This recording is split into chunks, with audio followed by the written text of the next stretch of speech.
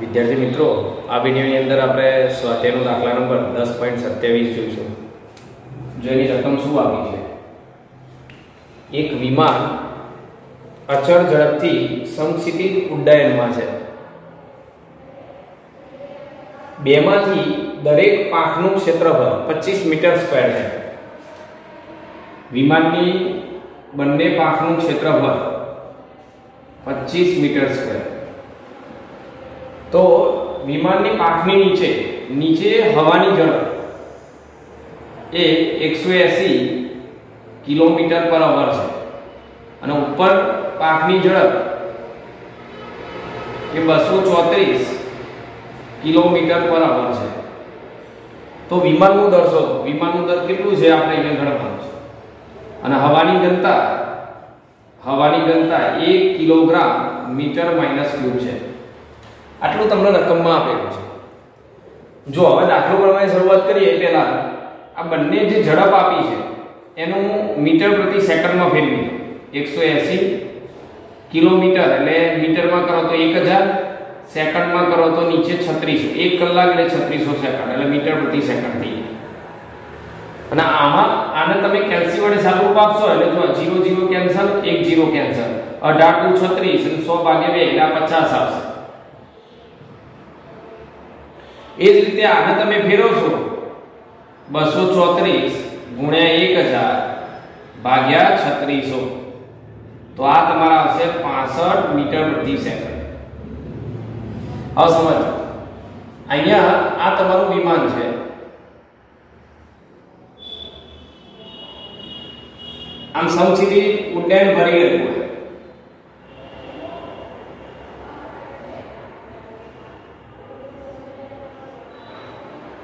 આ વિમાન આ દિશામાં સમસીધી ઉડ્ડયન ભરી રહ્યું ઉપર જે હવાનો જે વેગ હોય, નીચે જે વેગ છે v1 છે, ઉપર વેગ v2 છે. તો આનાથી થાય છે. નીચે વેગ ઓછો છે જો નીચેનો વેગ ઓછો, તો અહીંયા દબાણ વધારે લાગશે. દબાણ વધુ હશે. ઉપર વેગ વધારે છે તો દબાણ ઓછું લાગશે. મતલબ વિમાનની ઉપર અને નીચે અહીંયા દબાણ વધારે છે અહીંયા દબાણ ઓછું છે. એટલે નીચેથી ઉપર તરફ દબાણ વધારે લાગે, એટલે પરિણામે અહીંયા દબાણનો તફાવત ઉત્પન્ન થાય. કેટલો દબાણનો તફાવત ઉત્પન્ન થાય? આ ધારો કે 5 હોય, આ 10 હોય, તો પરિણામે 5 જેટલો દબાણનો તફાવત ઉધ્વ દિશામાં લાગે. બરોબર? એના લીધે આના પર ઉર્ધ્વ દિશામાં બળ લાગશે. આ દબાણના લીધે ઉધ્વ દિશામાં લાગતું બળ બરાબર દબાણ ઇન્ટુ ક્ષેત્રફળ. આ દબાણ ઇન્ટુ ક્ષેત્રફળ. અને એ કોના પર લાગે પાંખો પર પાંખોનું ક્ષેત્રફળ તમને આપેલું છે. બરોબર? તો ક્ષેત્રફળ એક પાંખ પર આટલું બળ ઉધ્વ દિશામાં લાગે. જો દબાણ ઇન્ટુ ક્ષેત્રફળ અને બળ. આટલું બળ એક પાંખ પર લાગે તો બંને પાંખ પર ડબલ બળ લાગે. એટલે ગુણ્યા અહીંયા તમારે બે કરવા પડે. બંને પાંખ લેવી પડે તો પહેલું કામ આપણે શું કરવું પડશે. દબાણનો તફાવત લાવવો પડશે. એના પરથી તમે બળ લાવશો. અને એના પરથી આપણો જવાબ આવશે. ચલો, આપણે ક્રમમાં શરૂઆત કરીએ. પહેલા તો બર્નૌલી સમીકરણ પરથી. બર્નૌલી સમીકરણ પરથી. બર્નૌલી સમીકરણ શું છે? P1 ρ g h1 1 half rho v1 square. બરાબર. P2 ρ g h2 1 half rho v2 square. હવે વિમાન છે ને, એ જમીનથી ખૂબ જ વધારે ઊંચાઈએ હોય. અને પાંખોની જાડાઈ એ ઊંચાઈની સરખામણીમાં અવગણી શકાય. અહીંયા વિમાનની પાંખ હોય આ રીતે, આ વિમાનની પાંખ છે. અને જમીનથી આ ઊંચાઈ 10 10 કિલોમીટર છે. અને આ જાડાઈ છે ને, એ કદાચ 100 10 મીટર જ હોય. તો આની સરખામણીમાં આ જાડાઈ અવગણી શકાય. ટૂંકમાં પાંખની નીચેની ઊંચાઈ અને પાંખની ઉપરની ઊંચાઈ લગભગ સરખી ગણાય વિમાન અહીંયા જ્યાં તમે h1 અને h2 બે સરખા લઈ શકો. વિમાનની પાંખ આ રીતે હોય, બહુ ખૂબ જ ઊંચાઈ હોય, એટલે જમીનથી આ ભાગની ઊંચાઈ h1 અને આ ભાગની ઊંચાઈ h2 તો આટલો ભાગ તમે અવગણી શકો. લગભગ બંનેની ઊંચાઈ સરખી લઈ શકો. અને બંને ઊંચાઈ સરખી લો, તો આ ભાગ 0 થઈ જાય કેન્સલ થઈ કારણ કે બે પદ સરખા થઈ જાય રોજી એચ. સરખી હોય. તો હવે શું વધ્યું? P1 P2 બરાબર. દબાણનો તફાવત. P2 આ બદલાવો row 1 half rho V1 square આ બદલાવો 1 half rho V2 square minus 1 half rho V1 square તો P1 P2 બરાબર. 1 half rho common V2 square minus V1 square 1 half rho 1 half rho common કાઢી લીધા આ તમામ દબાણનો તફાવત આવી ગયો. આ દબાણના તફાવતના લીધે વિમાન પર પાખો પાખો પર ઉધ્વ દિશામાં લાગતું બળ. આ દબાણના તફાવતના લીધે પાખો પર, બંને પાખો પર, બંને ઉધ્વ દિશામાં લાગતું.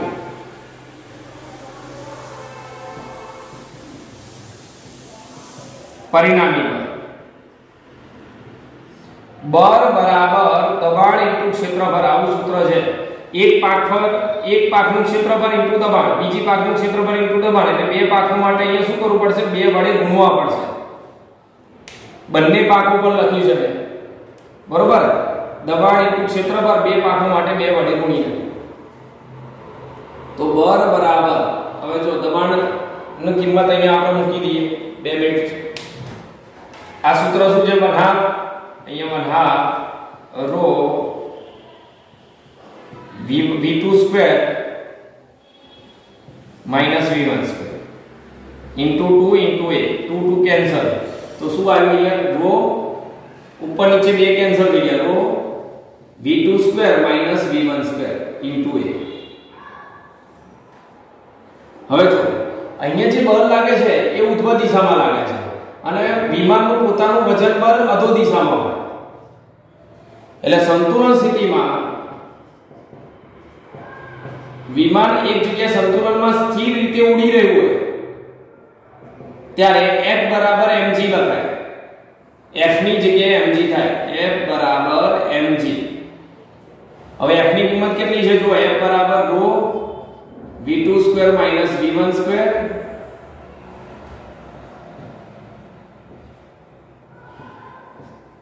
into a બરાબર mg તો આના પરથી વિમાનનો દર બરાબર વિમાનનો દર બરાબર દર m બરાબર rho v2 square minus v1 square into a અપન g. હવે આ બધી કિંમતો તમે અહીંયા મૂકી દો એટલે તમારો જવાબ આવશે જો અહીંયા હું આ જગ્યા કરી દઉં છું થોડી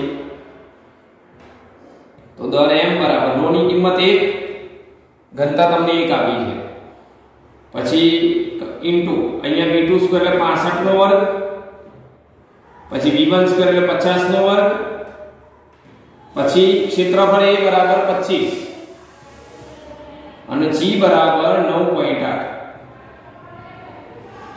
65 નો વર્ગ કરો તમે, એ 65 નો વર્ગ 45 25 આવશે. ઓછા 2500 આવું આવશે. 42 25 ઓછા 2500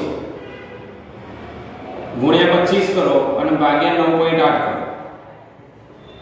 તો વિમાનનો દર તમારો આવશે ત્યાં. વિમાનનો દર 4400 કિલોગ્રામ.